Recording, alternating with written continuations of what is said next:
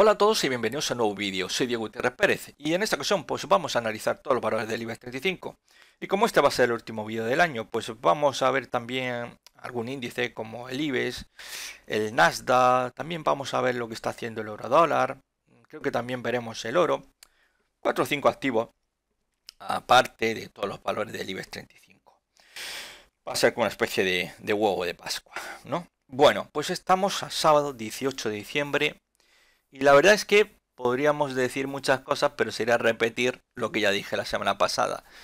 La incertidumbre sigue estando en los mercados a muy, vamos, de una forma bastante asfixiante. Eh, creo que la gente anda muy perdida, incluso los medios de comunicación también, estos los primeros, sobre todo, que no tienen ni puñetera ni idea.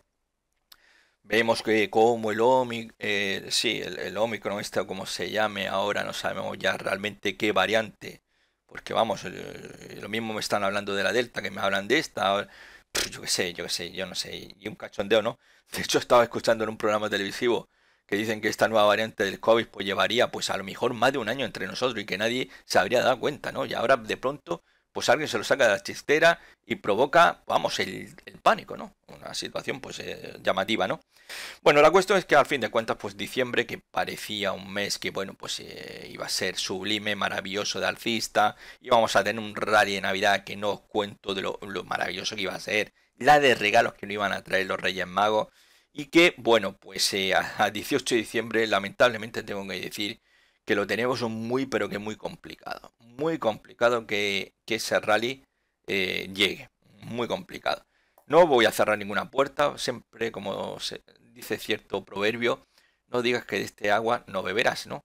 Y siempre pues hay que dejar una puerta también abierta a otros escenarios posibles, ¿no? Pero hoy por hoy la situación pues eh, pinta, pinta mal, ¿no? De cara a un rebote y sobre todo tras las declaraciones esta semana pues eh, de, los bancos centrales más importantes del mundo desde el Banco Central de Japón el Banco de Inglaterra donde han subido ya tipo de interés eh, el Banco Central Europeo. Bueno este no, hace nada absolutamente se ha cruzado de brazos Christine Lagarde a verlas venir eh, bueno yo también puedo entender que obviamente pues hay una situación muy complicada. La, la economía alemana está gripada. Si nos ponemos a mirar los países del sur de Europa, vamos, eso no es que tengan el motor gripado. Eso es que se sustentan gracias a la compra de activos por parte del Banco Central Europeo. Cuando el Banco Central Europeo, cuando la Unión Europea decida cortar el grifo del dinero, ese flujo de capitales, ya os digo yo que nos vamos a tomar puntos suspensivos, pero todos. Todos. Se va a volver a repetir la historia que vivimos en el 2008. Esta vez pues será por otra cosa distinta, pero ya sabéis que esto cada X años pues tenemos obviamente pues una, el estadio de una burbuja y aquí pues la verdad que los bancos centrales son los grandes responsables por haber estado dando a la maquinita a hacer dinero, está comprando todos los pasivos de estas compañías que mal llamado llama compra de activos, es una auténtica tomadura de pelo, están comprando, están comprando basura, los bancos centrales están comprando basura para evitar nuevamente un colapso de la, de la economía. Este caso la europea, lo mismo que está ocurriendo en Estados Unidos, donde ya se están poniendo un poco serios, ya vemos a Jerome Powell esta semana, que bueno, no ha subido los tipos de interés, pero ya ha dicho que el próximo año, en primavera, habrá la primera subida de tipo de interés y seguramente habrá dos más a lo largo del año, es decir, que habrá tres subidas de tipo de interés en Estados Unidos en el 2022. Y también pues va a acelerar, va a acelerar la reducción de compra de activos, ya que la situación por esa supuesta inflación transitoria de la cual recordaréis que yo mismo me reía, porque ya esto es un cachondeo, está muy bien que eso se lo diga a la gente del pueblo llano, pero por favor, a un economista no le intenten meter el dedo en la boca, ¿no? Y los economistas podemos ser a veces muy tontorrones, pero otras veces, pues la verdad es que eh, andamos un poco espabiladillos y lo vemos venir, ¿no? Y esto obviamente, pues eh, finalmente esa supuesta inflación transitoria ha tenido que reconocer que ha venido para quedarse y la situación se puede complicar. Quizá lo que esté salvando un poco la economía norteamericana es que vemos que, por ejemplo, eh, todavía pues eh, lo que vemos es un crecimiento del empleo, no destrucción de empleo. Si Estados Unidos tuviera destrucción de empleo en la actualidad o en esta semana o meses, estos últimos meses, eso sería, eso sería una noticia nefasta. Pero el, problema, sobre todo para aquellos que venían pensando en que la economía norteamericana iba a pinchar, es que el dato, el dato de desempleo no deja de mejorar semana a semana. Y esto obviamente pues ha evitado ese colapso de la economía estadounidense. Bueno, aquí en España, pues bueno, tenemos el IBEX 35, que sigue siendo pues eh, una obra de teatro horrible, fea, pero fea, fea, fea. El IBEX 35 a cierre de ayer, viernes 17 de diciembre, se anota un 2,95% en lo que lleva de año. Un 2,95%. Frente, frente al FUSMB italiano, un 19,69%. Frente al CAC 40, un 24,77% frente al AES un 23,55%, frente al DAS un 13,21%, frente al Standard Poor's 500 un 23,02%, frente al Nasdaq 100 un 22,60% o el Dow Jones un 15,55%. Está todo dicho. Es, es patético, patético, patético, patético, patético. Bueno, ¿qué vamos a hacerle? Estas cosas. Eh, y, lo gracioso es que y creo que lo comenté la semana pasada, me parece que lo comenté en el vídeo la semana pasada, serían algunos otros anteriores, que uno de, los índices que se suele apostar siempre a principio de año en Europa, siempre refiriéndome a Europa, suele ser una gran apuesta del IBEX 35. Pero vamos, eh, es la eterna esperanza, es la eterna esperanza. Si hay que apostar por el IBEX 35, es que, no sé, es que te has tenido que tomar una botella entera de, de Macala, tío, y no sé, ha alucinado o algo así, ¿no? Porque apostar por el IBEX 35, vamos, es que tienes que eh, estar muy mal, muy mal, eh, conocer muy poco, muy poco la economía española, muy poco el sector empresarial español, porque obviamente yo como español o, almeriense apostaría por cualquier compañía de cualquier otro país antes que una española, obviamente. Lo lamento, lo lamento por aquellos que obviamente pues piensen de forma contraria. De hecho, como mm, he dicho en tantas ocasiones, si hubiese un valor por el cual yo apostaría de renta variable española, sería Celnes. Celnes es un poco, eh, sería eh, de esos valores que a mí me gustan para tener para mi cartera de renta variable. Eh, lo demás, lo demás, pues, sinceramente, es que no, es que no hay nada que me guste, sinceramente. Celnes y se acabó. ¿Qué, voy a decir? Entonces, por tanto, esa divergencia que vemos es impresionante, ¿no? Como, como está en caída el IBEX 35 a pesar de ello, pues claro, hemos visto pues una reducción sobre todo ese frenazo del sector bancario. Fijaros, Banco Sabadell sigue siendo el valor más alcista del IBEX 35. Pero es que, como sabéis los que habitualmente me seguí, Banco Sabadell llegó a subir más de un 100%. Ahora ya está en el 58,47. Y a menos un 2% se encuentra Fluidra, que como se despiste el Banco Sabadell o se despiste en general el sector bancario del IBEX, pues se Fluidra se lo va a comer con patata. Y eso, y eso que aunque está un poco más distanciado de Fluidra y Banco Sabadell puede dar sorpaso, y por tanto ser la gran sorpresa ArcelorMittal, que se anota un 51-52%. Pero es que claro, es que compitiendo con ArcelorMittal está Naturgy. Naturgy que va también como una moto y sube un 50-57. Es decir, que estamos viendo ahí cuatro valores que suman un 50% y donde pues se está moviendo sobre todo Banco Sabadell que tenía un colchón impresionante. Y esto yo comenté, digo, las circunstancias en las que está imposible que Fluida pueda comerse a Banco Sabadell. Bueno, pues se lo va a comer con patatas, ¿no? La situación ha cambiado, ha cambiado, por eso os, digo que el mercado, el mercado es un ser vivo y está cambiando. Lo que hoy nos parece maravilloso, mañana puede ser pues una auténtica pesadilla para un inversor. Yo esa obcecación que tienen algunos inversores con algún valor, con algún sector, vale bien, hoy pinta bien, pero mañana puede ser todo lo contrario. Por tanto, hay que estar muy atentos, sobre todo cuando se está en este mundillo, a ver cómo evoluciona todo, porque aquí, pues el que se mueve no sale la foto, no sale la foto. En el IBEX 35 aún tenemos 12 valores en rojo, pues por abajo sigue siendo Siemens Gamesa, un 37-27%, y el segundo más bajista es Solario, un 31-79%. Bueno, pues eh, por abajo pues sigue sin cambiar mucho la situación, ¿no?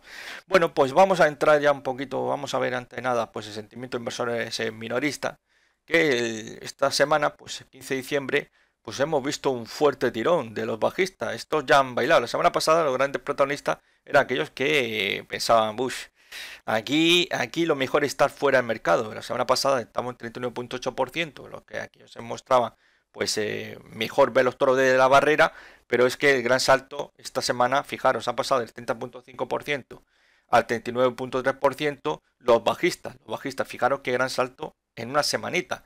Y estos son los que creen que ahora, pues en los próximos seis meses, vamos a ver caída generalizada en el mercado.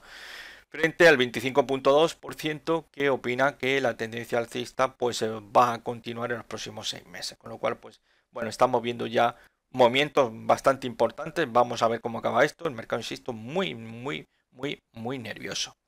Bueno, pues eh, vamos a entrar ya a ver algunas gráficas. Entre ellas vamos a empezar por el, eh, la materia prima, el futuro continuo del oro, que bueno, pues se cerraba la semana en los 1798. Esto es un gráfico diario. En este gráfico diario, pues bueno, pues la verdad que vemos un buen rebote eh, el, miércoles, la verdad que estuvo cerca el viernes de llegar cerca a la zona 1820. De hecho, pues prácticamente hemos tenido durante dos semanitas, algo más de dos semanitas, un movimiento horizontal entre la zona 1765, zona de soporte, y los 1790 como zona de resistencia, para redondear, ¿no? El número acaba en cero. Y parecía que el jueves, pues la fiesta pues se pintaba de cara a una vuelta hacia la zona de los 1840. Vamos a ver porque el viernes el pinchazo que tuvo con esa figura estrella fugaz, pues un poco pues nos deja un poco pues decepcionado, ya que la zona 1810 por encima de esa zona 1790-1810, pues es una zona de resistencia en el más estricto corto plazo y es el único obstáculo que tenemos ya por delante de cara a atacar la resistencia de los 1840. No obstante, pues el rebote continúa desde, como podéis ver, inicio de zona de soporte, pero de momento tocado con ese, ese, ese giro, ese giro, esa vuelta, vuelta en un día que se produjo en la jornada del viernes, que obviamente pues eh, cuenta la situación pues un poco complicadilla de cara pues a continuar ese rebote e intentar buscar la zona de los 1840. Sería importante, vamos a ver, si aguanta sobre 1790 dólares, hay opciones de que pueda buscar hacia la zona 1840, pero si pierde 1790 pues hay que prepararse el cuerpo para esa visita a 1760, 1765 dólares. Aquí la verdad es que, si os dais cuenta, pues hemos tenido dos correcciones muy parecidas. Aquí tenemos eh, dos impulsos, impulso 1, impulso 2, una corrección, que las dos correcciones prácticamente son muy similares también. Pero desgraciadamente de momento pues se le está costando. No obstante, pues aquí también, ¿verdad? Que en esta corrección que tuvimos empezó el rebote y fracasó. Prácticamente le costó bastante jornada romper la zona de resistencia a 1765 e irse hacia arriba. Con lo cual aquí podríamos tener un poco pues exactamente la misma situación que le cuesta un poquito de trabajito, pero que luego a continuación pueda continuar ese movimiento. Y sobre todo conforme veamos que la renta variable pues se comienza el dinero a moverse, a moverse de silla, pues podría dar, quién sabe, quizás la posibilidad de que pudiera volver hacia la zona de los 1920 dólares. Pero como siempre digo, vamos a ir paso a paso de momento, ya que como vemos en principio, pues ahora mismo hemos tenido fallo en el más estricto corto plazo con una zona de resistencia como son los 1810 y ahora todo va a depender mucho de no perder, insisto, esos 1790. En el caso del dólar, bueno, pues eh, fijaros que el viernes pues os comentaba que no podía con la resistencia de unos 13,5 dólares. De hecho, tenemos una vela muy chiquitita y fijaros al final qué enorme vela negra tenemos en la jornada del viernes, ¿no? Muy llamativa con esa velita que os, mostraba ese gráfico eh, las primeras horas de la mañana del viernes, ¿no?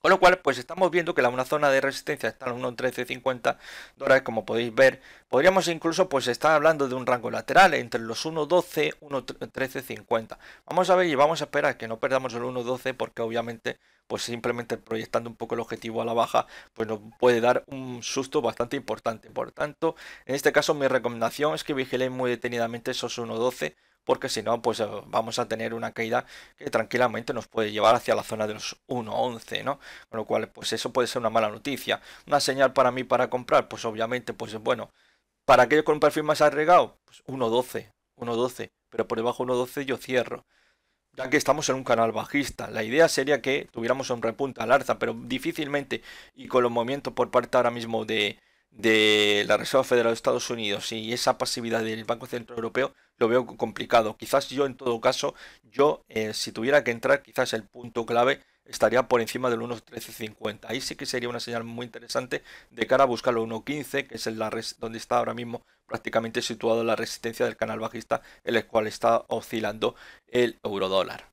En el caso del índice, ya no vamos al Nasdaq 100, pues también os publicaba un índice del Nasdaq 100 bastante llamativo, ¿no? Porque eh, me sorprendía muchísimo los titulares que habían con la fuerte subida que se había producido en la jornada del miércoles en el Nasdaq, pero claro, el viernes se lo comió con patata, los bajistas se comieron todo lo que había ganado los, toros en la jornada del miércoles.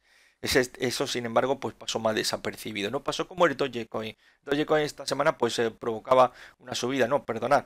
Hace, me parece fue la semana pasada, la semana pasada, ¿no? Subió un 31%, ¿no? Por los más, ¿no? Es que no, no sigo mucho esta, esta divisa, el Dogecoin. Bueno, la cuestión es que subió un 31%, pero llamativo, llamativo es que eh, cuando te pones a analizar la gráfica, subió un 31% en intradía, pero lo que no dice es que después de subir ese 31%, hubo una corrección, corrigió el precio y que llegó a caer más de un 50% de lo que había subido durante esa misma jornada, ¿eh? Durante esa misma jornada redujo esa subida del 31 en un 50%, algo más del 50%.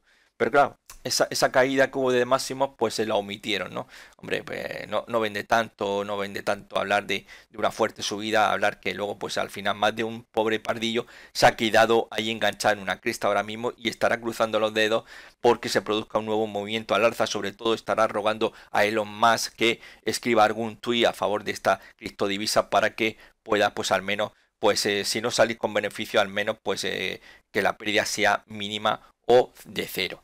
Bueno, en el caso del Nasdaq 100, pues como decía, pues muy bonito los titulares de prensa en la jornada del jueves por la mañana, tras fuerte subida del miércoles, pero el jueves, como insisto, gran caída, fuertísima. El viernes ya lo llevaron hacia la zona 15.700. Como podéis apreciar, el Nasdaq 100 está dentro de un rango lateral, un canal horizontal o rectángulo como también se le llama. Zona de soporte 15.700, zona de resistencia 16.460 puntos con una dilatación que tenemos aquí esta vela lo que fue a buscar la resistencia, porque si os dais cuenta, me vais a permitir un poco, voy a hacer un poco.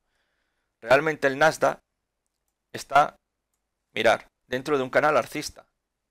Proyección esta vela de esta línea de resistencia, fijaros cómo lo toca aquí y a continuación caída, ¿eh? ¿Veis? Estamos dentro de un canal alcista. Y qué está ocurriendo pues desde noviembre, porque estamos en ese canal horizontal. Y vamos a ver si aguanto esa zona 15.700 porque como perdamos 15.700 yo ya creo que hay que olvidarse de rally de Navidad. Es la última la última esperanza que hay ahora mismo, yo creo desde el punto de vista sobre todo analizando el Nasdaq ahora mismo en esa zona de soporte en cual pues despegaba un poquito, de hecho intentaba anular el hueco de apertura bajista sin conseguirlo, a pesar de que llegó a rellenarlo intradía, pero finalmente se desinfló, ¿no? Como perdamos esa zona, mal asunto, olvidaros, no va a haber eh, al menos rally Navidad, al, menos con lo que respecta al índice Nasdaq 100, y es más que probable que podamos ver una caída hacia la zona 15.200, donde tenemos un soporte horizontal que corresponde a la antigua resistencia de este rango lateral que os estoy señalando ahora mismo y además donde tenemos el soporte del canal arcista con lo cual pues muy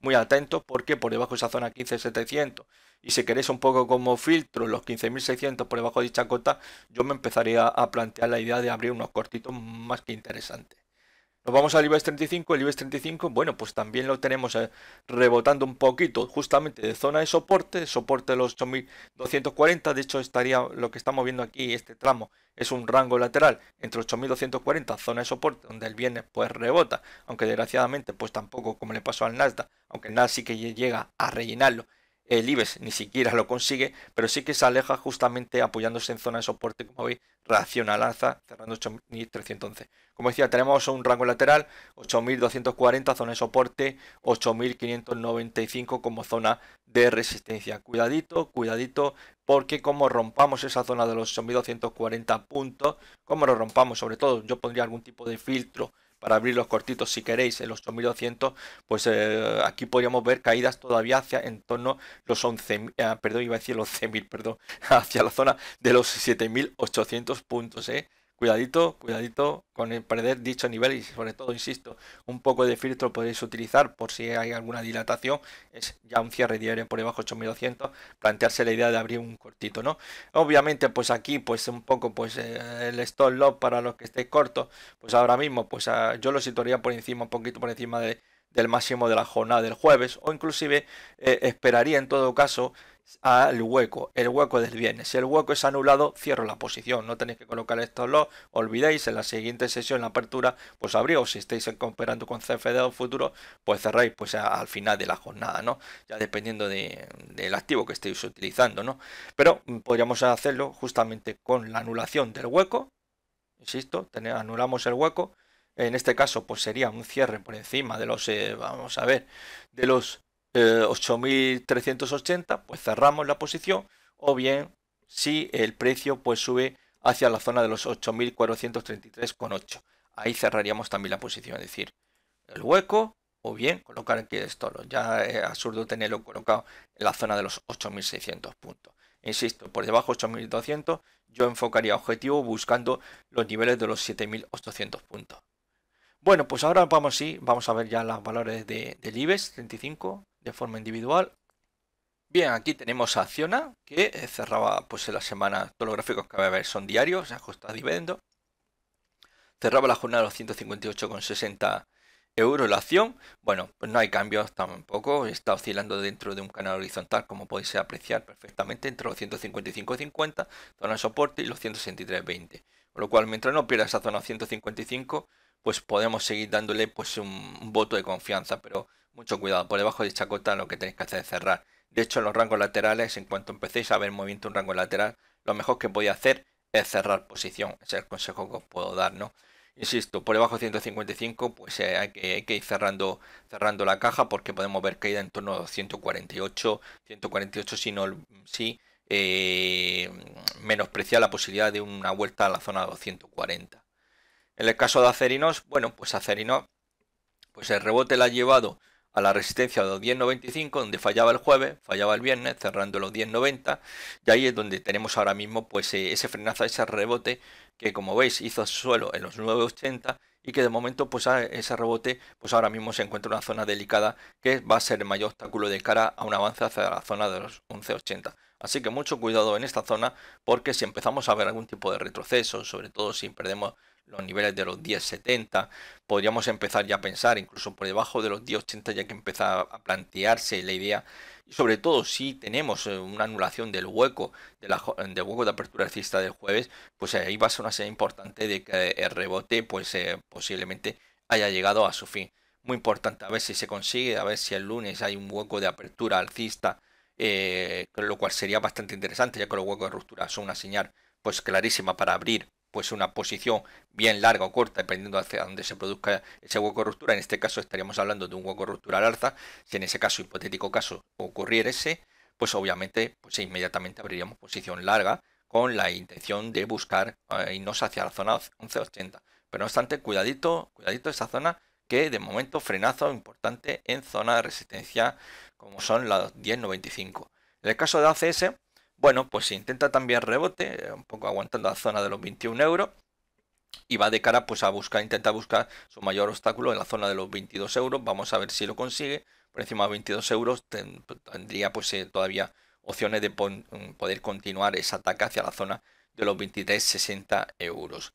Eh, todo lo que sea pues eh, perder los 21 y sobre todo ya por debajo de los 20-80 ahí olvidaros porque vamos pues obviamente pues a una situación más de, bastante delicada y obviamente ya por debajo de esa zona 20-80 pues ya estamos pensando obviamente en un objetivo que todavía tenemos ahí tenemos ahí la recámara los 20-48 objetivo de ese canal horizontal que rompió a la baja y que obviamente perder esa zona 20-80 pues básicamente los 2048 difícilmente se le va a escapar y por tanto alcanzaría su objetivo. No obstante, insisto, si consigue romper esa zona 22, quizás lo peor haya pasado para ACS y podríamos tener todavía un movimiento hacia la zona de los 23 y por extensión 23.50.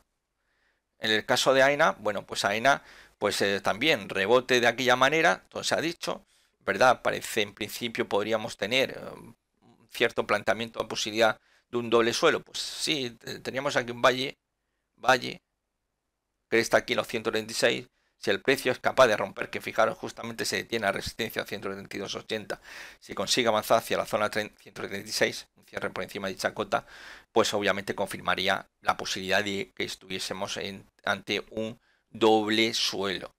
De hecho, pues eh, realmente si os dais cuenta, entre esta línea azul nos está marcando el suelo, vamos a poner para rondear los 128 y por arriba vamos a para rondear los 150, esta línea roja, lo que tenemos aquí es un canal horizontal como una catedral, ¿no? Con lo cual vamos a ver lo que ocurre, pero cuidadito, cuidadito, insisto, de momento a fallar esa zona, que nadie se adelanta en posibilidad de ese, de ese doble suelo, insisto, la confirmación es fundamental. Otra cosa es que vayamos en un rebote, no hayamos subido al rebote y que oye, pues si nos encontramos con un doble suelo, eh, pues es genial, ¿no? De cara pues un poco oriental, que ya os digo siempre que los objetivos históricos tenéis que olvidaros, son simplemente pues supuestas orientaciones hacia dónde podría dirigirse el precio, pero ya sabéis que el mercado está constantemente moviéndose y lo que puede parecer un doble suelo, pues finalmente se transforma en un rango lateral. No olvidéis que los rangos laterales son doble suelo o doble techo que han fallado, no se han confirmado y se transforman en rangos laterales, así de claro. Así que en principio, pues eh,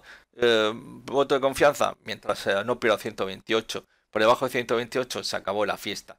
Con lo cual, pues mm, noticia nefasta. Ahora mismo es bastante arriesgado. Yo, en todo caso, y ante la situación, más bien me esperaría a ver si hay algún cierre por encima de 136 que ese cierre diario sea lo más cerca de máximo intradía, sobre todo hay que tenerlo muy en cuenta eso, y entonces ahí sí que podría abrir posición. Ahora mismo, tal y como está la situación, hay que tener bastante cuidado porque, insisto, podríamos estar que el precio continúe ascendiendo hacia la zona 135-136 y vuelva a caer hacia la 128 con lo cual ahí nos habría confirmado ese doble suelo y tendríamos pues obviamente lo que suele ocurrir cuando no se confirma ese tipo de patrón pues que se ha transformado en un rango lateral en el caso de Almiral, bueno, pues Almiral pues también de forma bastante torpe, aguanta los 11 euros eh, por los pelos cerrando el 11.03. Vamos a ver si aguanta un poquito. Yo eh, esperaría un poco más de profundidad al alza antes de pensar en la posibilidad de un movimiento ascendente hacia la zona de los 12, 12.25. ¿Entendido?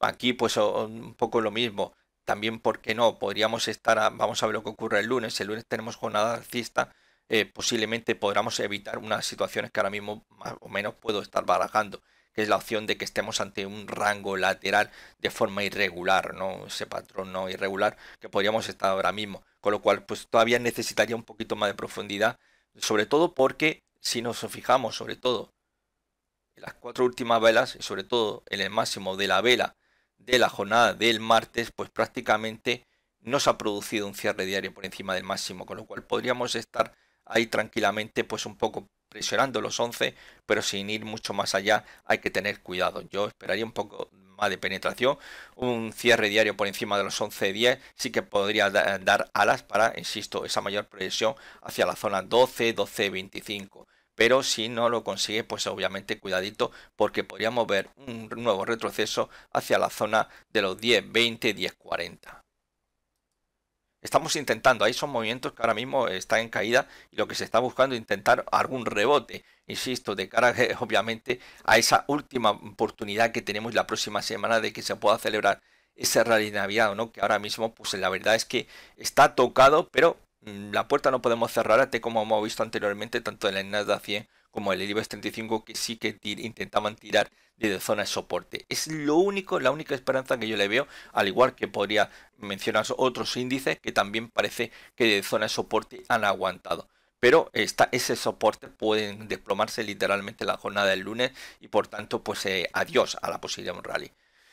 Bien, estamos en el caso, perdonar, el caso de Amadeus que cerraba los 55.66 y bueno, pues aquí pues eh, la situación, bueno, nos deja una envolvente alcista entre la vela del jueves y la vela del viernes, pero básicamente los tres últimos días, pues eh, digamos que están deshojando la margarita. No le veo todavía ningún tipo de potencial, seguimos estando por debajo de la media móvil de corto plazo. Eh, la media móvil de 200 lo tenemos ahí justamente ante la resistencia de 57.25 yo todavía pues eh, no, me, fío, ¿no? No obstante, pues obviamente cualquiera que intente buscar un poco basándose en vela japonesa, pues bueno, pues la oportunidad de tiene abrir un larguito sería siempre y cuando mm, el precio no toque los 54.11. Por debajo de 54.11 o simplemente que lo toque al T, yo cerraría la posición. Esto solamente ahora mismo para aquellos que un poco pues vayan buscando esa posibilidad de algún tipo de rebote con primer objetivo la zona 57.25. Perder obviamente irnos por debajo de esa zona de los 54 12, 54 10, pues esto es meter presión para una mayor caída hacia la zona 52, 51. En el caso de ArcelorMittal, pues ArcelorMittal la verdad que lo está haciendo muy bien desde que rebotó y nos dejó una bonita. En este caso estaríamos hablando, más que la vela en concreto me voy a, centrar en el patrón. Vela negra, luego tenemos esta vela, esta vela, mm, no vamos a llamarle doji, pero sí es una vela de onda alta. Eh, luego tenemos otra vela blanca, fijaros que hay dos huecos, ahí entre la vela negra y la vela eh, de onda alta, hay un hueco de apertura bajista, y entre la vela de onda alta y luego la velita blanca que tenemos aquí arriba, pues tenemos un hueco alcista. Tenemos un patrón conocido como estrella del amanecer. Es bastante fiable y normalmente aquí fijaros que aparece en zona además zona de soporte, vamos, era para abrir un larguito inmediatamente, ¿no? Y la verdad que el rebote ha sido impresionante, como estamos viendo en el caso de ArcelorMittal. Eso sí, eh, de momento los 29 euros, el más estricto corto plazo ha fallado, pero el rebote continúa. Yo le daría mi voto de confianza siempre y cuando no pierda 27.60. Aquí estamos en un valor que no tiene nada que ver con lo que hemos estado viendo anteriormente, que es la intención de intentar un rebote y aquí en el caso de ArcelorMittal la idea, la idea es pasar hacia la zona de los 30, 30, 90. Esa es la idea ahora mismo que puede tener un inversor en ArcelorMittal. Insisto, todo va a depender en este caso de no perder esa zona de 27, 60, 27, 50 ya que podría poner pues, en peligro la posibilidad de que veamos un mayor avance hacia esa zona 30, 30, 90. Banco Sabadell. Bueno, pues Banco Sabadell, pues eh, ahí continúa en su amargura, ese viaje cayendo, como vemos, estaba dentro de un canal bajista, finalmente acabó rompiendo, estuvo en un rango lateral, como estuvimos eh, hablando la semana pasada, y finalmente caía esa zona de 0.58, desgraciadamente. Lo tenemos cerrado en la semana de 0.5608 y de momento pues situación bastante complicada la que se le pone a Banco Sabadell. Como no llegue ese rebote esta semana, ese rally de Navidad que ahora mismo pues está está básicamente, pues mm, pende de un hilo, de un hilo que se pueda producir. No vamos a descartarlo todo, pero pende solamente de un hilo.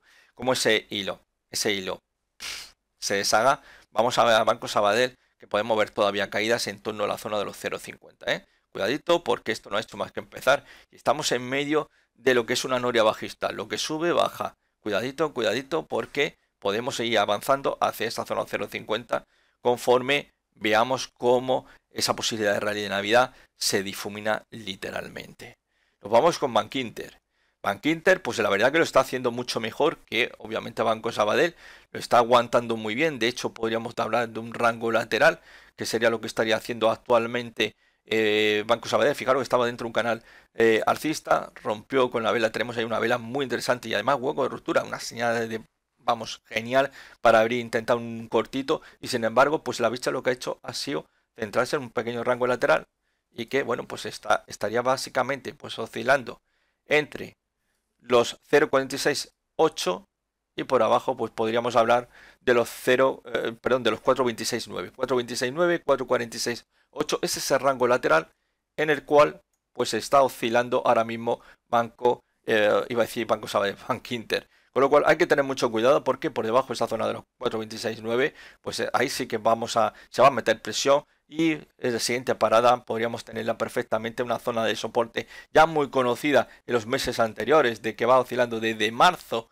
hasta julio estuvo tanteando una zona como es la de los 3,95 euros. Así que vamos a ver, esperemos que nos rompa a la baja porque lamentablemente podríamos ver pillar un susto. Si consigue romper la resistencia al 4,46,8 podríamos ver un avance hacia la zona de los 4,70, ¿no? Poco pues se siguen intentando buscando ese, ese posible eh, que pende, insisto, de, hilo de un, rally de Navidad. El caso de BBVA, bueno, pues eh, la verdad es que ha estado muy pillada, muy enganchada los 5.20, pues eh, prácticamente ha estado ahí casi dos semanitas sin poder con esa zona. El viernes, como veis, caída, buscaba apoyo justamente el soporte de los 4.83, puede ser casualidad, tampoco voy a, a, aliarme en una discusión con respecto a ello, ¿no? Como siempre hay detractores de análisis técnico, pero es curioso, ¿no? Pero bueno, me da igual si es que siempre casualidad, si es que le han pretendido la mano fuerte al mercado, pero vemos cómo reacciona al alza, vemos cómo se aleja bastante, es decir, BBVA no quiere continuar es, esa travesía, esa travesía que le llevó que en este caso sí, la verdad es que este sí que es un canal alcista mucho más guapo que el que veíamos anteriormente, como vemos una mayor eh, pendiente y obviamente aquí se que rompió y alcanzó tranquilamente el objetivo. Eso sí, cuanto lo alcanzó, poquito más avanzó hacia abajo y rebote, rebote, que se frenaba a 5.20, que busca el apoyo de los 4.83 y que vamos a aguantar los 4.83 porque por debajo pues volvemos nuevamente a lo mismo. La resistencia, resistencia 5.20, tenemos la, está el precio por debajo a media movida de 200. Ahora mismo, bueno, pues es un poco para aquellos con un perfil agresivo, para un perfil conservador gran parte, prácticamente la mayoría de valores que estamos viendo, yo no se los recomendaría. Ahora mismo, ahora mismo lo que hay que tener muchísimo cuidado porque eh, si la situación no mejora en estos próximos días, insisto, buscando ese rally que de mi punto de vista está prácticamente casi ya muerto, pues eh, como no se produzca el lunes, veamos a, movimiento al alza difícilmente van a aguantar. En caso de BVA, vamos a ver si eh, puede continuar y atacar nuevamente los 5.20 de cara pues, a buscar pues, otro mayor obstáculo como es la zona de resistencia de los 5.35, 5.37, ¿no? Así que vamos a ver lo que ocurre. En principio, pues eh, bueno, pues para aquellos que estén intentando un poquito ese rebote, a ver si se produce con el sueño, con la posibilidad de avanzar a los 5.70, que sería algo factible, pero en las, eh, factible dentro de un entorno más normal, en el cual nos encontramos ahora mismo, me parece bastante disparatado, no obstante, ¿no? Y sobre todo, pues eh, viendo el fracaso ante la zona de 5.20, que hay que ser mucho más cauto ahora mismo y en principio pues es situación bastante nefasta que se puede complicar muchísimo con la pérdida 480 y por debajo de esa zona de los 466 pues obviamente pues eh, nos vamos a ir a, buscar la zona de los 420 no con lo cual es mucho cuidadito con intentar aquí buscar un rebote porque de momento es verdad que sí que aguanta zona de soporte pero tenemos un gran obstáculo 520 que se le está atragantando mucho a BVA el caso de CaixaBank, bueno, pues CaixaBank que tampoco pues, levanta mucho la cabeza, digamos que un rango eh, lateral irregular entre, vamos a poner para un poco aproximado, 2.25, 2.40, con lo cual pues prácticamente lo que vemos está en la parte baja de ese canal bajista y sin muchos ánimos de intentar pues en ninguna remontada, ¿no? Como podéis estar observando. Con lo cual hay que tener cuidado ahora mismo porque podríamos ver continuar un movimiento por mientras esté el precio por debajo de 2.35 podríamos ver todavía a CaixaBank buscando la zona de los 2.20, ¿no? Por debajo de 2.35 podríamos pensar que quizás eh, lo peor haya podido pasar, pero mientras el precio esté por debajo de esa cota, de ese nivel, lo va a seguir pasando bastante mal. En el caso de Celnes, bueno, pues Celnes, que para mí es uno de los valores que si tuviera que escoger algunos de renta variable es que más me gusta, pues también como podéis observar, es un valor que está muy de capa caída, ¿no? Como podéis ver, desde esa zona de 62, como ya hemos hablado en otras ocasiones, pues bueno, aquí ha tenido un rango lateral. Fijaros, con un hueco de ruptura se desplomado hasta los 48.80 y bueno, pues en principio pues vamos a ver ese movimiento hacia la zona de soporte, los 47.30 y bueno, pues aquí es tan fácil proyectar el objetivo teórico que bueno, pues eh, más o menos, para no perder mucho más tiempo. Ah, vamos a ver nos daría sobre los 46-30. Ese sería el objetivo que tendríamos aproximado. El objetivo teórico ya lo, um, lo, ceñiré mejor, aunque bueno, ya con las vacaciones que me voy a tomar, difícilmente ya hasta el año que viene. Pero bueno, para que tengáis una idea, podría continuar cayendo hacia esa zona. Todo lo que no sea recuperar en la zona de los 50-70, mal asunto para hacerles de cara pues a continuar pues esa travesía, esa fase correctiva que se había detenido el mes de octubre oscilando dentro de un rango lateral y que ha roto la baja T, como nos suele decir la teoría que es lo más habitual que rompa este tipo de, movimientos laterales, que es que suelen romper a favor de la tendencia previa habitualmente. Y previamente eh, esa tendencia cuál era? Bajista. CIA Automotive, bueno, CIA Automotive, bueno, pues lo tenemos ahí un poquito, pues una situación también bastante peleaguda. Hemos estado viendo toda esta semana incapacidad de romper esa zona de los 27, ya como ocurrió la semana pasada, en la jornada del viernes tampoco pudo y por tanto pues esa zona 27 se ha convertido en un auténtico hueso duro de roer, desplome, perdiendo la zona de soporte de los 26-14 eh, y obviamente una situación un poco peleaguda. Tenemos una vela, que es una vela pues un poco de indecisión. Yo me fijaría bastante en el mínimo intradía esa zona 25.52, por debajo de 25.52, ahí sí que podéis empezar ya que la situación se va a complicar mucho más, que simplemente ha sido una pausa tras perder esa zona de soporte importante y podríamos ver caídas hacia la zona de los 24.20. Así que mucho cuidado con que pierda esa zona de 25.50 porque obviamente pues todavía le queda recorrido y por tanto pues en principio lo que podríamos estar teniendo quizás uno de los planteamientos más nefastos que me planteo es valle, eh, cresta, perdón, cresta o pico, valle, cresta o pico, si el precio cae, perdemos los mínimos, perdemos ese valle ese que tenemos aquí, pues obviamente confirmaría, pero no obstante también podríamos tener, pues insisto, cuando no se confirma un doble sol, doble techo, lo que tenemos es un rango lateral. Vamos con Enagas. Enagas, que bueno, la semana pasada os dije que había hecho máximo histórico. No sé en qué estaría pensando. Uy, se me ha hecho un lío aquí el cable. Eh, no sé qué estaría pensando, máximo anual, era máximo anual. Y esta semana pues vuelve a marcar un nuevo máximo anual, ¿no? Mientras aquí esté soltando billetes, pues eh, eh, el Banco Central Europeo, pues no hay problema, Esto, esto va a seguir tirando al alza, ¿no? Que ahora pues con esa nueva inyección para el gobierno español o para la economía española, pues en Agas pues es uno grande beneficiarios y esto obviamente se ve muy reflejado, ¿no? El viernes, fijaros, el viernes tuvo gran caída, fijaros que va a caer hasta antiguo soporte de un rango lateral que está, está movido, la vela están todas movidas, tengo que, que moverlas, ¿no? Un poquito, ahí, más o menos, pero tendría que moverlo, está, ya mal. No hagáis mucho caso a, los niveles que estáis viendo ahora mismo aquí. Este sí que lo vamos a hacer. Ahí vale, bien. Aguanta ahí la zona de soporte 1977. Es que se han movido, se han movido las líneas aguanta esa zona y vale, pues como vemos, pues salva bastante situación. Fijaros que, que gran remontada de los mínimos, esa zona de los 19.48 eh, hasta los 19.88 que cerró, salvando, como vemos, tanto la media móvil de corto plazo como también esa zona de soporte donde pues un poco ahí había necesitado un poco de, ayuda, donde reposar para intentar nuevos movimientos al alza. Aquí, bueno, pues eh, habrá que mover un poco, por eso ha movido todo, insisto. Eh, vale, más o menos hacia ahí. Aguantando sobre esa zona 19.77 todavía podemos tener un poco de tirón buscando la zona 20.50 y un poco pues hacia esa zona de los 20.80 que sería la resistencia del canal alcista en el cual está oscilando. Voy a quitar mucha de esta línea y así la veis un poco mejor. Aunque está un poco, se ha, movido bastante. vamos a quitar y así la veis viendo, ¿no? Yo creo que vale, eh, queda perfecto, ¿no? Más o menos estáis viendo un poco eh, el canal alcista, ¿no? Vale, estupendo, ¿no? Eh, bueno, pues vamos a ver si aguanta ahí, como vemos, como digo, pues incluso marcando pues el nuevo más humano esta misma semana, ahí lo tenemos en la, jornada del el jueves, el viernes me parece que, por muy poquito no lo superó, ¿no?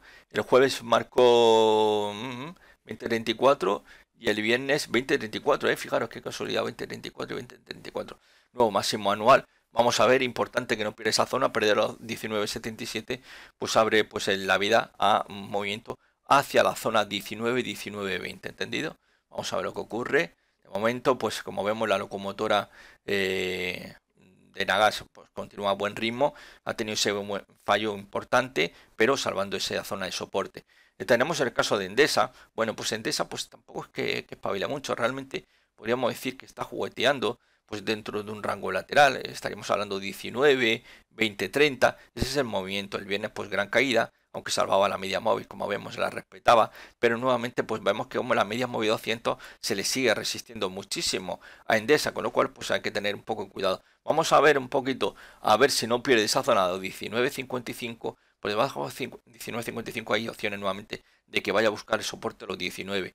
Yo ahí sí que me, mojaría un poquito y por debajo de 19 a mí no me extrañaría nada que viéramos a caer caídas en Endesa hacia la zona 1760, 1730. ¿eh? Eh, fijaros, ahí me estoy mojando un poco en este aspecto.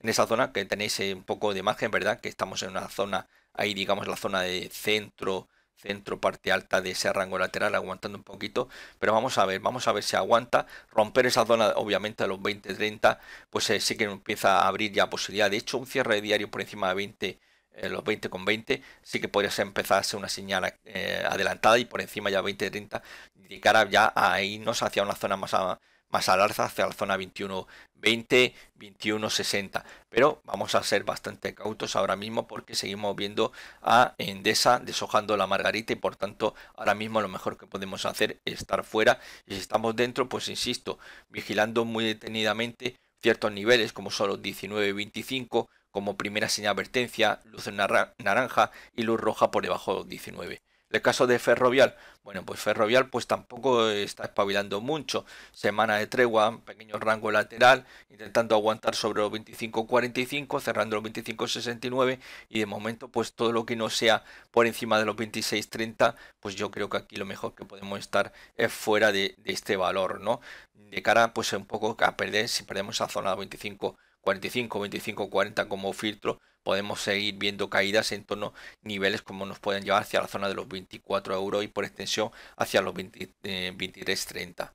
En el caso de Fluidra, bueno, pues seguimos todavía en un rango lateral, también muy cerquita en este caso, pues muy cerca de la zona de soporte de ese canal horizontal, rectángulo, donde tenemos la media móvil 200, ahí en los 31.41, coincidiendo con el soporte del lateral, en los 31.40, que es el nivel, sí que aguantaba en el cortito plazo el soporte de los 32.35, vamos a ver si lo mantiene de cara a una mayor presión, intentando buscar el rebote hacia la zona 34.20, que sería la siguiente resistencia complicada que tendríamos, por encima de 34.20 podríamos esperar una mayor, una mayor rally hacia la zona de los 35, 80, perdón. Pero si perdemos la zona de los 31, 40, prepararos porque ahí podríamos tener una señal de bastante alarma. Estaríamos perdiendo no solamente ruptura de rango lateral, rompiendo esa media móvil tan seguida como era la media móvil de 200 y esto podría ser un auténtico detonante para abrir posiciones cortas y en otros casos pues obviamente el cierre masivo de posiciones largas. En el caso de Grifols, bueno, pues Grifol pues eh, aprovecha el rebote tras eh, jornadas ya la semana pasada intentando hacer un pequeño suelecito, lo vemos eh, muy encauzado, cerrando 16.50, vamos a ver si continúa esa progresión hacia la zona de los 17.70, sería lo interesante en este caso ese rebote 17.70, 17.80, vamos a ver si aguanta los 16, que ahora mismo los 16 sería nuestro nivel, nivel de soporte el más estricto corto plazo perder los 16 es nuevamente pues una invitación a volver a los mínimos estaños marcado en este mismo mes de diciembre y que obviamente pues esto es un valor que cualquiera que lo mire pues hay poco que decir, ¿verdad? Hay poco. Aquí hay una vela, debe ser que alguna vez utilizaría algún indicador para mostraros alguna divergencia. Y como podéis observar, pues fijaros que fijaros que fiesta, ¿no? De esa zona de los 33 estamos 16.50. ¿Os parece un valor alcista? Bueno, pues eso de que luego pueda decir algunos, tiene un potencial de revalorización de un 100, un 200%. Es muy fácil decirlo. Eh, otra cosa muy distinta es que eso se llega a plasmar en la realidad, ¿no? De momento, sí que insisto, aquí en este caso sí que tenemos un rebotito. Está aprovechando Grifol para alejarse de los mínimos de este año. insisto, que lo marcó justamente la semana pasada. Tampoco hay que irse muy atrás, ¿no? Con lo cual vamos a ver si ese movimiento hacia la zona 1770, 1780 continúa, con lo cual pues obviamente pues eh, sería una bolsa de oxígeno para eh, muchos accionistas pillados y que es una opción obviamente ¿Para qué? Pues para empezar a deshacerse de esa posición en la que estamos atrapados ahora mismo en Grifols. En el caso de Iberdrola, bueno, pues Iberdrola, pues la verdad es que está muy apagada todo este año, está todavía oscilando dentro de un canal bajista, como podéis observar. Bueno, pues la situación no es pavila, es verdad que intenta, vamos hasta la saciedad, desde final de octubre, intentar romper la resistencia del canal alcista, sin éxito, ninguno como estamos viendo, incluso pues estamos viendo ya de finales de noviembre como ya estaba bailando inclusive el soporte de los 980, situación que se está complicando bastante. En principio, pues podríamos estar diciendo que en las últimas 2-3 semanitas, pues estaría oscilando dentro de un rango lateral 960, pues 10 con 10. Ese es el rango en el que estaría oscilando actualmente Iberdrola. Por debajo 960, olvidaros de que esto un poco se va a tirar, va a intentar buscar al menos una mayor progresión hacia la zona de los 1047. Por debajo 960, caídas hacia la zona de los 920 euros. En el caso de Inditex, bueno, pues Inditex, pues ahí lo tenemos, ¿no? De hecho, fijaros en la jornada del miércoles, se va directamente ahí hacia los 27 euros, como estáis viendo, caída brutal la que nos dejó. De hecho, pues bueno, pues eh, sí que ya aquí ya teníamos confirmación. La vela del miércoles confirmó un segundo impulso bajista con objetivo 25-40. Verdad que sí que ha intentado recuperar, sobre todo en la jornada del jueves, con un importante hueco de apertura alcista, intentando recuperar el soporte al 27.86 o 27.85 y sin, sin éxito, ya que cerraba la semana 27.81 y con una vela pues un poco que nos muestra clarísimamente la indecisión que hay. Nuevamente con esos 27 ahí de la jornada del miércoles vuelve a mostrarse que los chicos de Credit Suisse, ya como ya sabéis todos los que me seguís de tantos años, pues eh, no suelen equivocarse con, con Inditex. Siempre, siempre, siempre acaban acertando. Desgraciadamente para aquellos que critican mucho a Credit Suisse, es verdad que muchas veces las recomendaciones, eh, la mayoría son erróneas. Obviamente, esto como pasa como cualquier analista técnico, pues se equivoca muchísimas veces también.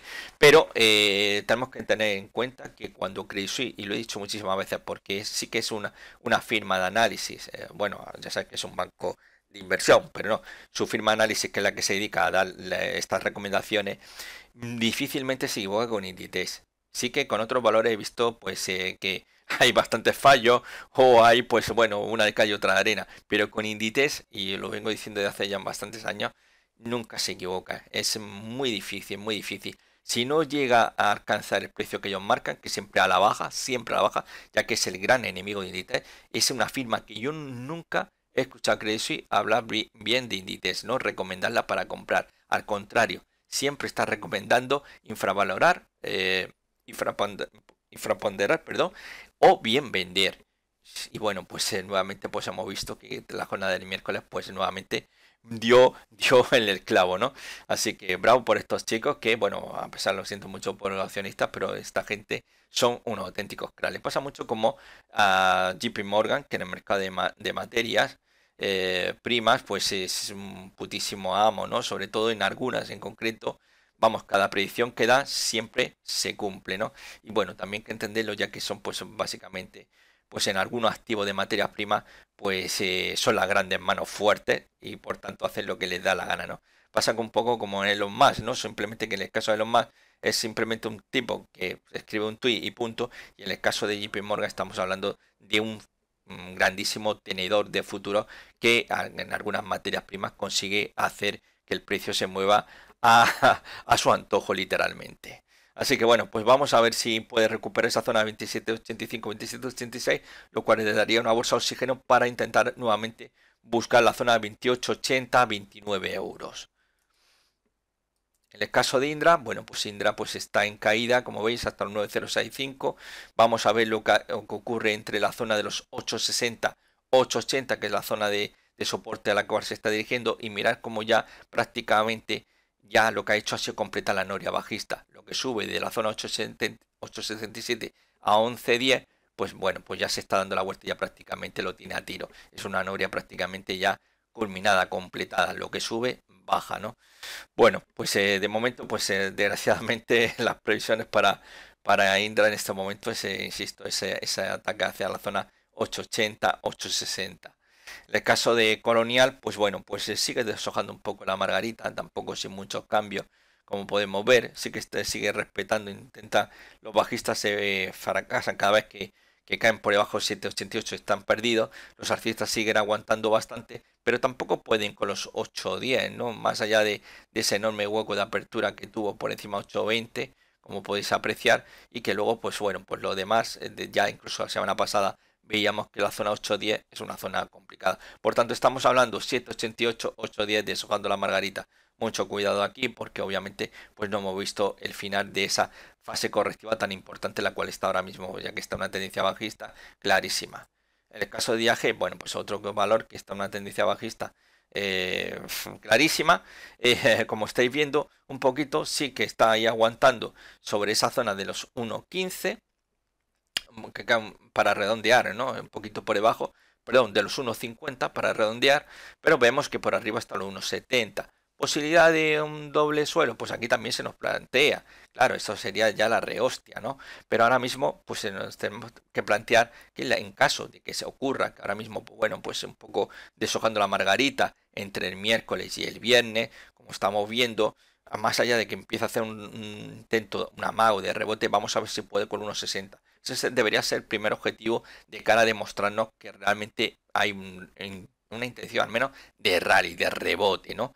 Si lo consigue romper unos 60, el siguiente paso unos 70. Por encima de unos 70 aquí sí que podríamos empezar ya a hablar de valle, cresta en unos 70, volvemos a unos 50, valle, el precio sube, rompe los unos 70, pues ya tenemos eh, confirmación de un doble, doble suelo. Pero Insisto, son simplemente escenarios, porque sin confirmación el precio podría oscilar en un rango lateral 1.50, 1.70. Y cuidadito, cuidadito, porque si volvemos a perder ahora la zona de los 1.47, pues obviamente lo que estamos haciendo pues es marcar nuevos mínimos anuales, así que tenemos que tener en cuenta, ya que de hecho pues eh, prácticamente la jornada del miércoles jueves por lo que estamos haciendo es juguetear con el mínimo, con el mínimo anual de IAG que se alcanzó pues a finales del mes de noviembre. Así que estamos, estamos en la zona de, de mínimo, mínimo anuales, donde se está intentando buscar ese rebote que de momento no llega. Así que mucho cuidado a ver lo que esté buscando, porque esto ahora mismo pues busca un rebote. Yo solamente lo recomiendo, insisto, para inversores eh, con un perfil eh, activo o agresivo, como también se le denomina.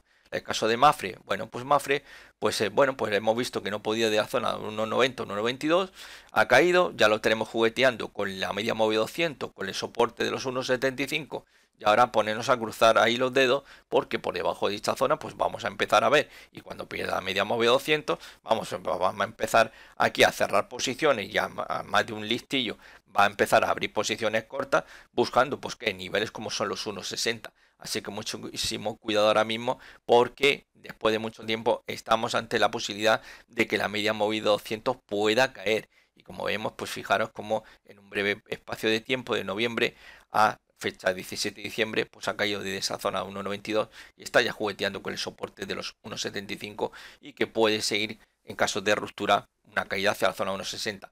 O tenemos rebote el lunes y empezamos a un rebote al alza o Mafre se nos estampa literalmente. En el caso de Emilia Hotel, pues bueno, pues tenemos un patrón entre jueves y viernes de línea penetrante. Es un, es un patrón de giro alcista eh, basado en vela japonesa, en Calesti cerrando a 5.54, con lo cual, bueno, uno puede abrir posición larga siempre y cuando no pierda los 5.32. Por debajo de 5.32, tanto activo, que es lo recomendable, por debajo de dicha cota cerraría la posición. Mientras eso no ocurra, mantendríamos la posición larga. En principio, lo primero que tiene que hacer ahora mismo es romper la resistencia de 5.60 y por encima de 5.60 la idea ya es a buscar los 6. No obstante, fijaros cómo, cómo ha ido buscando, qué cerquita estuvo en la jornada del, del viernes. Llegaba acá hasta los 5.32. 5.22.6 tenemos el objetivo teórico de ese hombro, cabeza, hombro. Así que todo lo que no sea recuperar esa zona de 5.60, 5.62 para ser más preciso, pues eh, lo tiene complicado. Vamos a ver si hay posibilidad de rebote, pero de lo contrario, pues eh, me parece a mí que esto vamos a ver en las próximas jornadas cómo finalmente Melia pues eh, alcanza los 5.22.6, objetivo teórico de ese hombro, cabeza, hombro invertido. En el caso de Merlin, bueno, pues Merlin pues es verdad que sigue aguantando estoicamente lleva pues prácticamente de finales de noviembre apoyándose una tras otra vez en la zona 950, ahí los bajistas no tienen nada que hacer, pero es verdad que tampoco a partir de los 980 los alcistas pierden cualquier tipo de, percepción, de orientación de dónde se encuentra y hacia dónde dirigirse, ¿no? Con lo cual, sobre todo la presión está moviendo y esta semana más una jornada tras otra, esos 950 están pendiendo de un hilo. Mucho cuidado con perder la zona de 950, ya que podríamos haber caídas en torno a los 870 8,80 euros, ¿eh? que ya bastante y como se suele decir, como dice el dicho, el cántaro que mucho va a la fuente acaba rompiéndose o hay rebote inmediato o esto se va a romper los 9.50 que ya llevamos ahí dos semanitas tanteando una tras otra y de momento es verdad que aguanta el soporte, pero insisto, el cántaro que mucho va a la fuente acaba rompiéndose. En el caso de Naturgy, bueno, pues Naturgy que va como una locomotora, marcando nuevos máximos, pues bueno, pues ahí lo tenemos cerrando los 26.85 mostrando fortaleza. De hecho, cerraba en máximo, máximo intradía. Bueno, pues aquí para un poco para tener referencia, como estamos en máximo, está volando literalmente, como estáis viendo. Fijaros que aguanta muy bien, rompía esa zona de soporte 24.87 y la vista se ha ido hacia arriba. Pues un poco aquí para quizás una mayor visión, pues fijaros que lo que tendríamos que hacer, fijaros, en este caso sí que podemos decir, este sí que es, el de máximo histórico. A ver si cuando dije lo de, ¿qué fue? Lo de Nagas me equivoqué y era Naturgy. Puede ser. Bueno, estamos hablando de máximo histórico ajustado a dividendos, también se ha dicho. Bueno, pues ahí lo tenemos ahora mismo en subida, en subida libre, como estáis viendo, en esa zona de 26.85 no tenemos prácticamente ninguna referencia. Lo más que podríamos hacer un poco era esta vela que tenemos aquí, un poco la vela dominante. Que lo que podríamos hacer es lo siguiente.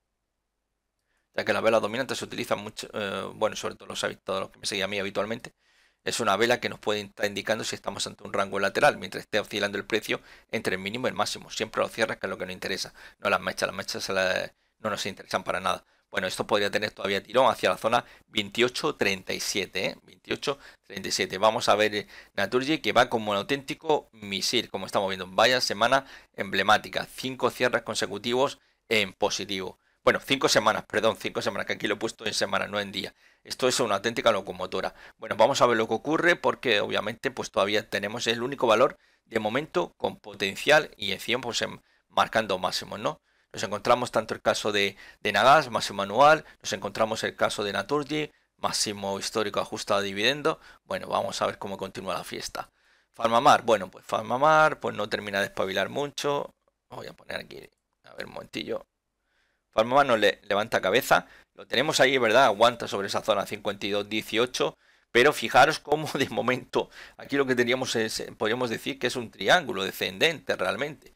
La antigua zona de soporte del canal bajista está actuando como resistencia, ¿veis? Desciende, desciende. ¿Y cómo es la base? La base es horizontal, por tanto tenemos un pequeñísimo triángulo descendente. Vamos a ver si rompe esa zona de los 55, que le está costando mucho trabajo de cara pues a intentar buscar los 60.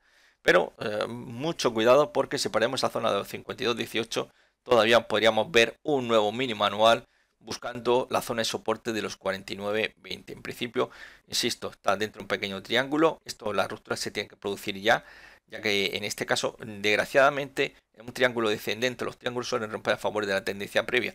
Así que la tendencia previa era bajista, mucho cuidado, ¿no? A no ser que estemos ante un patrón de, cambio de tendencia, que entonces eso sí que cambiaría y podría darle un espaldarazo para buscar hacia la zona de los 60, 63 euros. En el caso de red eléctrica, bueno, pues ahí tenemos otro, marcando ahí máximo anual la jornada del viernes, más volatilidad disparada, como podéis ver, llegó a marcar en intradía los 19.47, que es el máximo que tiene anual como estáis viendo, bueno, pues la verdad que estaba haciendo dentro de un canal alcista, como estáis viendo, con intentos, eh, ya de hecho, como veis, de hecho el lunes hay nuevamente intento de ruptura al alza, nuevamente caídas, el martes, miércoles, jueves lo vuelve a intentar, asoma cabecita, el viernes con mucho más interés lo vuelve a intentar y vuelve a caer. Y fijaros, ¿dónde va el, eh, el mínimo intradía? ¿Dónde se apoya? Fijaros qué casualidad, soporte y de soporte el canal nuevamente tira hacia arriba. Vamos a ver si aguanta ese soporte. Ahora pues básicamente pues estaría situado sobre los 18.32, 18.30. Si perdemos esa zona pues podríamos empezar a ver ya si en serio pues una fase correctiva para red eléctrica. Pero de momento está intentando seguir un poco los pasos que hemos visto tanto en Naturgy como en el caso también de, Nagas de continuar pues un poco la fiesta arcista contracorriente del de resto de valores que hemos estado viendo que la verdad que son, son situaciones pues lamentables y que obviamente pues a, quien va a recomendar algo ante la situación que estamos teniendo y sobre todo viendo muchos de estos gráficos que lleva una corrección bastante importante porque en una corrección eh, de, de, pocos días eh, o pocas semanas sino que algunos vienen cayendo ya desde hace bastantes meses en el caso de Resol, bueno, pues Resol es otro valor que ha tenido una corrección importantísima de esa zona de los 11.70, como podéis ver, donde estuvo haciendo un rango lateral. Lo tenemos cerrando la semanita a los 9.94, como veis. Bueno, de momento sí que aguanta la zona de soporte de los 9.77, 9.75. Vamos a ver que no lo pierda. Intenta un poco, pues a ver si recupera nuevamente el precio. Eh, se sube por encima de la media móvil 200 que está funcionando muy bien como resistencia dinámica y que en caso de conseguirlo pues podríamos darnos a la pues un poco ahí buscando esa zona de los 10.30 por encima de esa zona de los eh, en este caso 10.53 10.54 eh, sí que podríamos tener ahí la posibilidad de tener también pues una figura de, doble suelo. Aunque veamos que sus mínimos sus mínimos su valle son ascendentes, esto tendría incluso una mayor connotación alcista en caso de que se, finalmente tengamos un cierre diario por encima de esta cresta. ¿eh? ¿Entendido? No tenemos que estar buscando esos doble suelo, doble techo idealizado, donde eh, en caso de doble suelo tenemos dos mínimos en el mismo nivel. Eso, eso se ve a veces sí y otras veces no. Siempre encontramos que uno de los, de los mínimos de los valles suele estar uno más bajo que el otro, o los dobles techos, no necesariamente tienen que estar los dos eh, picos que están en el mismo nivel. Puede variar uno más al alza y otro más al baja. De hecho, cuando nos encontramos en un doble techo, que nos encontramos que el pico derecho es más bajo que el izquierdo, ese puede, si se confirma, tiene unas mayores connotaciones bajistas y tiene también un mayor porcentaje de acierto. ¿eh? Eso también es bastante eh, a tener en cuenta. En el caso de Banco Santander, bueno, pues Banco Santander pues eh, intenta rebote a zona 265, hace un pequeñito suelo, hace mucho ánimo, vamos a ver si este rebote pues todavía que bueno, pues eh, aguantaba la jornada del viernes, le da cancha para buscar la zona de los 2.85. Por encima de 2.85 podría intentar buscar la zona de los 2.98, 3 euros. Por el momento un pequeño rebote, tampoco aquí podemos ya hablar de que esto ya es el fin de la fase correctiva de Banco Santander porque todo lo que se ha perdido 2.65 pues lamentablemente pues es una auténtica tragedia para Banco Santander, ¿entendido? Así que vamos a ver si este rebote eh, consigue consigue fructificar o finalmente pues esto es eh, agua agua para hoy y sequía para mañana bueno, tenemos aquí a mesa ya estamos finalizando. Eh, tampoco espabila mucho, está dentro de un canal bajista. Vemos como no podía esa zona 23.70.